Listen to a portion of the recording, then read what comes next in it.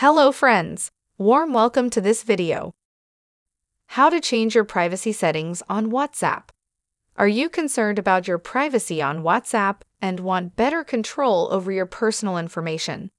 In this video, we'll explore how to easily adjust your privacy settings on WhatsApp. Let's dive in. Open WhatsApp on your smartphone.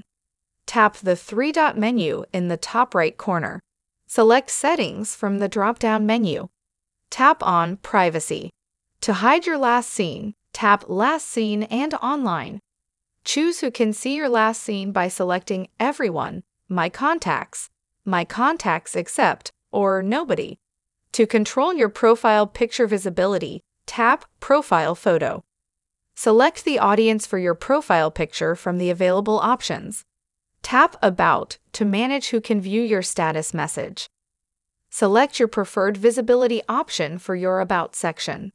To control who sees your status updates, tap Status.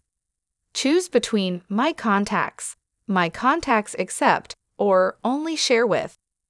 Scroll down and tap Blocked Contacts to manage blocked users.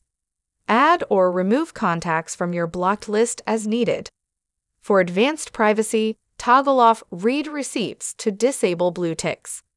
Go back and tap Groups under the privacy settings.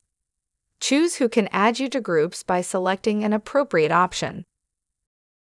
Please do not forget to like this video. Make sure to subscribe to this channel. Press the bell icon to get updates on new tech support videos. Thank you for watching this video.